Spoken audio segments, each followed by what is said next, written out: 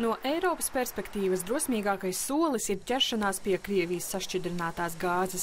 Eiropas ostās nu vairs nevarēs to pārkraut no lielajiem ledlaužiem uz mazākiem, lētākiem kuģiem pirms sūtīšanas uz citām pasaules valstīm. Alternatīvu meklēšana Krievijai maksās naudu. Šim lēmumam gan ir deviņu mēnešu pārejas posms.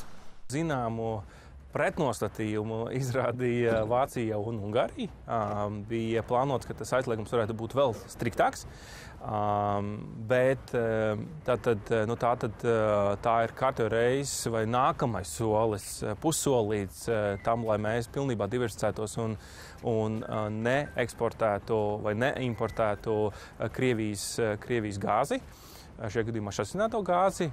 Taču no sašķidrinātās gāzes importa savām vajadzībām Eiropa vēl nav gatava atteikties. Arī otrs solis saistībā ar Krievijas pārvestās naftas ierobežošanu tā sauktajā ēnu flotē drīzāk arī ir tikai pussolis. Ēnu flote tiek veidota no veciem norakstītiem un neapdrošinātiem kuģiem ar apšaubāmiem īpašniekiem. Tie peld zem trešo valstu karogiem, tostarp Baltijas jūrā.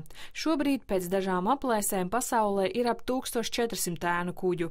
Sankciju sarakstā iekļauti vien 27. Mēs panākam tagad, mēs samazinām, nu, teiksim, ir, ir ieliekot 27 kuģu, kuģus tajā sankciju sarakstā, mēs, mēs paplašinām, kuriem aizliegts ir jeb, jebkādus pakalpojumus sniegt. Un, ko mēs gribam nākotnē izdarīt, ir, nu, lai nevarētu viņiem iepildīt uh, degvielu jūrā. Tas, tas šajā brīdī neizdevās. Bija valstis, kuriem dažādu iemeslu dēļ tas, tas pagaidām um, nelikās atbalstāms. Un ir tie, kam šis rīcības trūkums nāk par labu.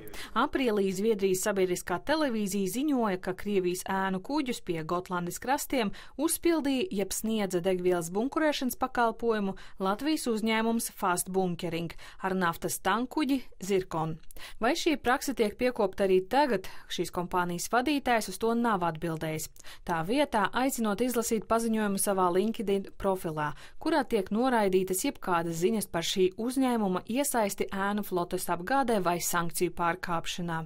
Eiropas sankcijas, ja viņi nepārkāpja Eiropas sankcijas, ir ir eh, grūti kaut ko viņiem padarīt. Eh, tas, ko mēs vēlējāmies, lai, lai tas, ko viņi dara, tiktu aizliegts, šobrīd neizdevās. Trešo, ko ārlietu ministrija izceļ kā svarīgāko šajā sankciju kārtā, ir 60 Krievijas un trešo valstu kompāniju iekļaušanu sankciju sarakstā par Krievijas militārās rūpniecības atbalstīšanu. Trešdaļa no tām ir no Ķīnas. Tādā veidā Eiropas Savienība sūta Pekinai skaidru signālu, ka šāda rīcība nepalika nepamanīta. Ella Samjonova, Aigars Kovaļevskis, Māris Jurgensons, Latvijas televīzija.